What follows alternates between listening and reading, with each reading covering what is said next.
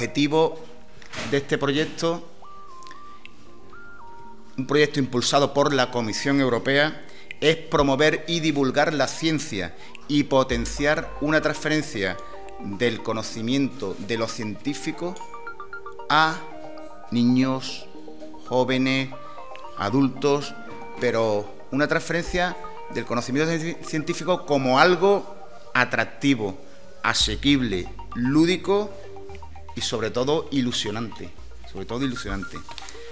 Especialmente mm, yo quería poner de relieve aquí lo que significa para este gobierno acoger eventos de esta relevancia y más aún si nos conectan con los retos de la Unión Europea. Hace ya dos meses aproximadamente pusimos en marcha la candidatura de nuestra ciudad a ciudad ¿eh? de, a capital europea de la cultura en el año 2031, pues para nosotros es un orgullo estar aquí. Como sabéis, hemos incorporado también a la candidatura al resto de la provincia, a la Universidad de Cádiz, y estamos seguros de que juntos, juntos somos mucho más fuertes en un territorio que tiene mucho que aportar. ¿Por qué? Pues vamos a aportar desde el sur del sur de Europa y vamos a, aportar muchísimo a todos estos retos comunitarios. Todos sabemos que la ciencia y la investigación son palancas importantes, son palancas de transformación social y económica, como lo es también la cultura.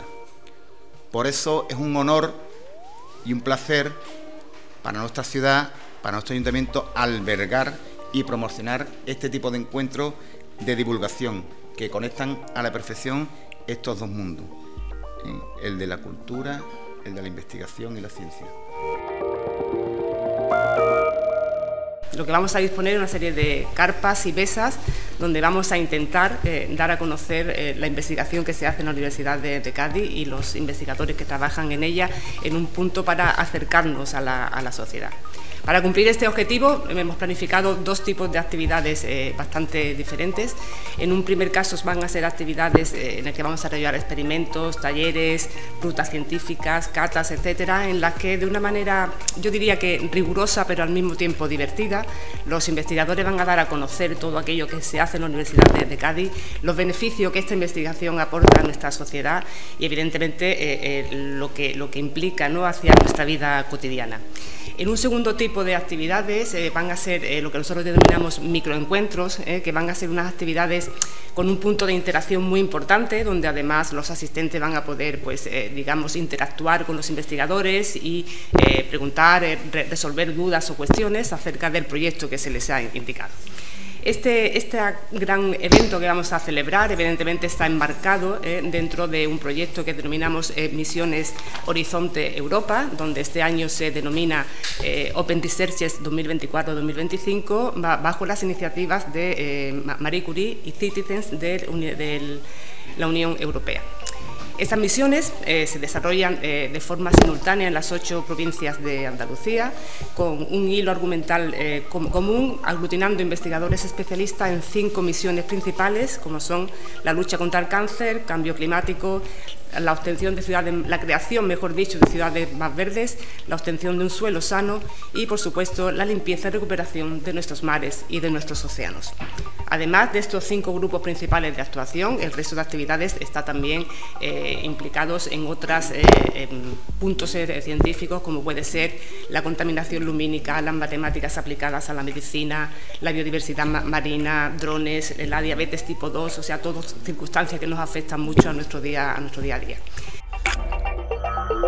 La Noche Europea de los Investigadores es un ejemplo perfecto de cómo la ciencia puede salir de los laboratorios para encontrarse cara a cara con la sociedad, permitiendo a los ciudadanos y ciudadanas descubrir el lado más humano de la investigación. Este evento, que se celebra simultáneamente en más de 400 ciudades europeas, eh, durante el fin de semana del 27 en las ocho provincias andaluzas, Además, se suman a esta celebración del conocimiento acercando la ciencia a todos los públicos de una manera amena y accesible. tal como debe ser. Además, nos enorgullece compartir este evento que además, además se enmarca en el vigésimo aniversario del campus de Jerez y además, como se ha dicho, en, Jerez que opta a ser ciudad europea de la cultura.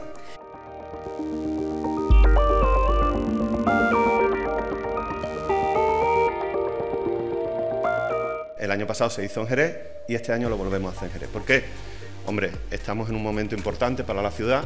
Nosotros además estamos celebrando nuestro 20 aniversario del campus de Jerez eh, y además estamos inmersos en el tema eh, de forma muy activa, como, como, nos han comentado desde el ayuntamiento, eh, apoyando la capitalidad europea de la cultura. Cultura que la tenemos que entender desde un aspecto muy amplio. ¿eh? Yo creo que cuando se presentó el tema de la capitalidad europea no estamos hablando de la cultura folclórica, perdonadme que lo diga así, sino la cultura tiene que llegar a toda la sociedad y nosotros lo que vamos a hacer es un evento de cultura científica. Y, como tal, y como tal evento de cultura científica, pues encaja perfectamente dentro de este proyecto que creo que es ilusionante para la ciudad y que, que desde esta forma queremos transmitir todo nuestro apoyo. No solo este es el único evento, sino que vamos a ir trasladando más eventos a lo largo del curso eh, eh, que habitualmente realizamos en otros campus, los vamos a ir realizando en el campus eh, en la ciudad de Jerez.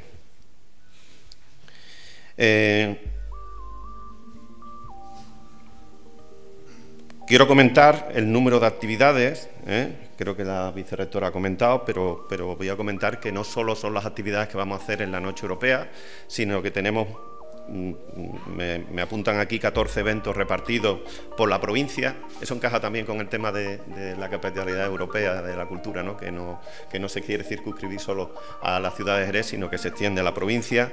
Bueno, pues todos los temas de divulgación pues tiene un número de eventos repartidos por, por la provincia.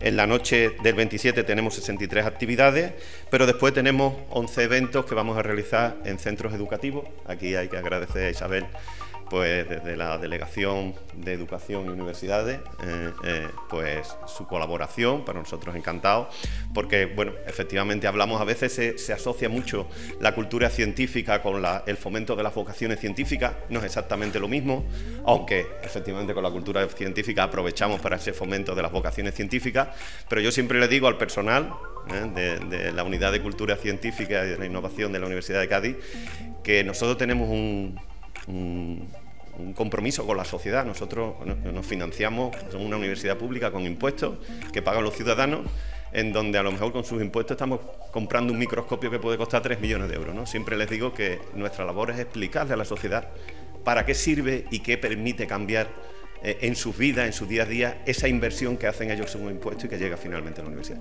Ese es el objeto de esta noche de europea de los investigadores. De alguna forma rendir cuenta ante la sociedad de esa inversión con sus impuestos que hacen los ciudadanos, que llega a la universidad y que de alguna forma redunda en la mejora de la sociedad.